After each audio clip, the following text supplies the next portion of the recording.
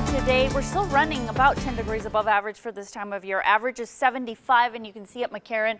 Uh, we've hit 84 so far today, 86 the high so far Nellis Air Force Base quite a bit above normal uh, and Henderson has hit 83. So for tomorrow we're still going to be quite a bit above average for this time of year but then we have a cooling trend uh, as we head to Tuesday, Wednesday, Thursday we'll be much closer to where we should be for this time of year because we have two little systems coming our way that are going to send a lot of cloud cover and also pull in some uh, cooler air. And there you can see the first system pushing clouds uh, there onto the California coast, and that will move in our direction over the over the next 24 and 48 hours. So here we are tomorrow morning. We'll already see partly cloudy to mostly cloudy skies. That is 7 o'clock tomorrow. Then as we head to lunchtime, still there. It doesn't look very impressive, and actually the updated models are not showing any mountain showers. This is 8 o'clock tomorrow. Uh, but then as we head into Tuesday, this is very early in the morning. You notice the cloud cover does thicken.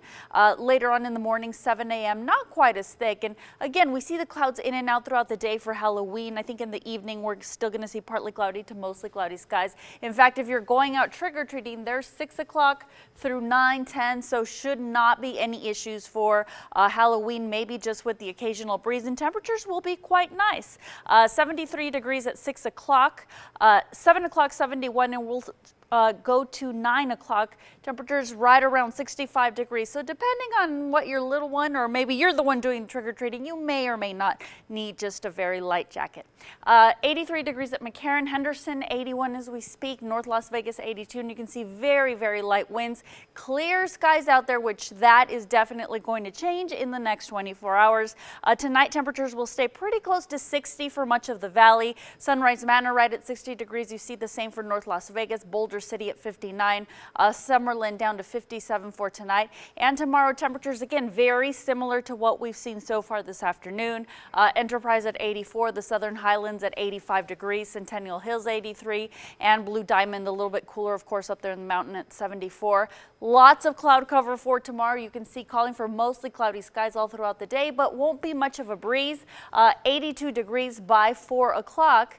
And there's your 13 First Alert 7-day planner. Halloween number number 77 degrees, which will be the same on Wednesday. I think we'll continue to see some cloud cover and possibly enough moisture in place to bring us a mountain shower, which could mean a stray sprinkle for the Las Vegas Valley. Thursday, Friday, breezy winds. Those are far ahead of a bigger system we're tracking that's going to move close to the area uh, over the weekend. So the cooling trend is going to continue Saturday and Sunday.